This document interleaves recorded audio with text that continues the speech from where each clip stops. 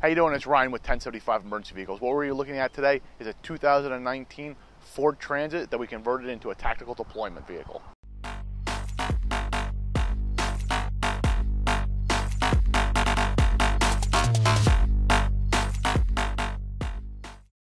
On the outside of the vehicle, we've been very simple with it. We have Luverne grip step running boards on both sides, along with a step in the back to allow easier access. These are also very good when your boots are very muddy or snow filled. They provide more than sufficient grip to get in and out of the vehicle and also assist the officers getting inside the vehicle.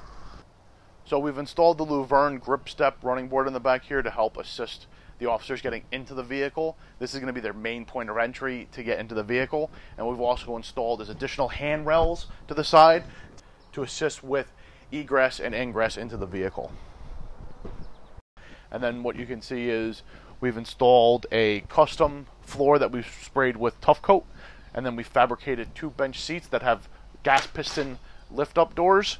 This allows them to have additional storage underneath them and it's on both sides with gas piston lift ups. And then along the back side of the seat, we've installed Blue Seas USB outlets down both sides so they're able to charge any equipment, their phones, or any other equipment.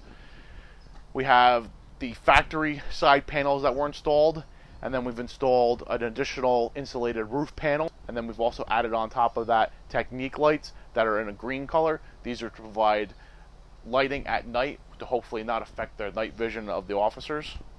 So up front, what we have is we have two riding positions for officers. We have a TV mount that we fabricated up there, and we've run 110 power up to there. And what we also have is an Xantrex Freedom inverter, along with a 110 outlet for any other equipment that they may want to plug in. We have the inverter control. This has an inverter charger that allows a shoreline to be plugged in it that will charge the battery and then make the outlets live if they're going to park it and use it for an extended period of time where they don't need to have the ignition on. And then we also have the switch for our white and then our green tactical lighting.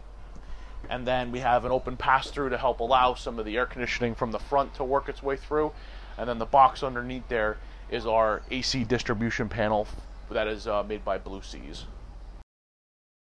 If you like what you see, check out our website, www.1075vehicles.com, and you can view all of our latest deliveries and our available build options for you. Thanks for checking out our video, and don't forget to follow us on Instagram, Facebook, and YouTube. Leave a like on this video and subscribe to our channel. We appreciate your attention and support. Thank you.